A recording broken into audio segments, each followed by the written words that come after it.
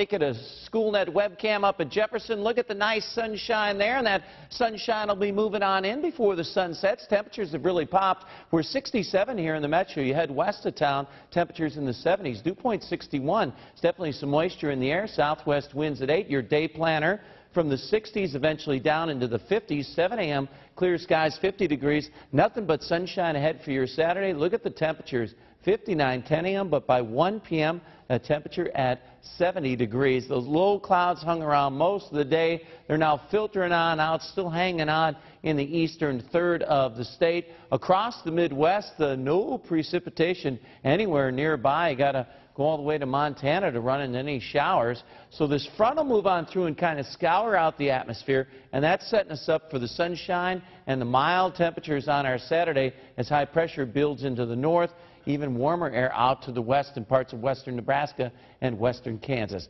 So here's Futurecast. Again, the clouds slowly moving out. As we head into Saturday, there's your timeline. Bright sunshine across the state, generally statewide. Clear skies Saturday night. Sunday will start out with sunshine and then slowly finish with just a few clouds filtering on in as we head into Sunday evening. Football Friday night, I mean, this is fantastic. Mild readings out there, a light breeze out of the west-southwest. Kickoff temperatures around 67, and we should stay in the 60s throughout the games out there.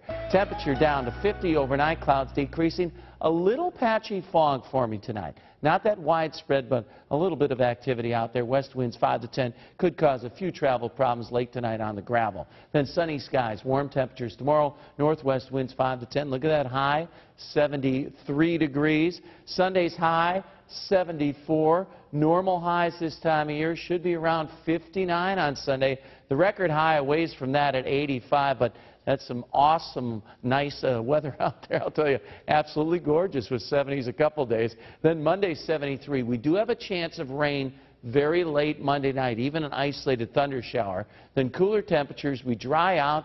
Look at Beggar's Night. 60 degrees. I even got that forecast already. Look at long range. Looks to be mostly clear with temperatures in the 50s. Halloween night, temperatures are still fairly mild with clear skies at 54 degrees. And we look ahead to next weekend with some more dry weather. So except for Monday night, early Tuesday morning, nice and dry and 70s for your weekend.